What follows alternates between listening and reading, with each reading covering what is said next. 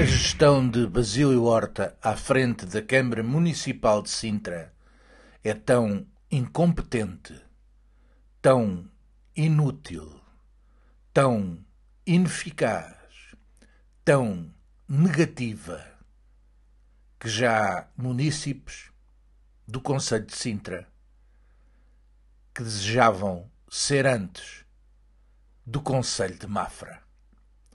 Ora, vejam esta fotografia e esta mensagem que recebemos no provedor sombra da Saleia TV. O lixo continua em Sintra. Não levantam o plástico em Alvarinhos. Além de ter ecoponto à saída da casa, não o limpam. Quem me dera ser de Mafra. Que vergonha, doutor Basílio Horta. Que vergonha.